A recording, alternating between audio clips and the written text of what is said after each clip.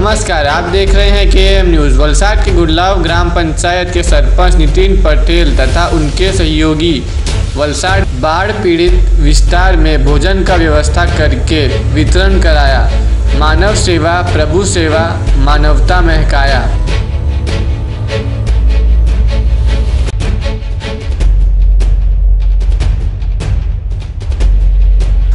ऐसे ही latest news देखने के लिए देखते रहें के एम न्यूज़ हमारे चैनल को लाइक शेयर सब्सक्राइब करना ना भूलें। नमस्कार।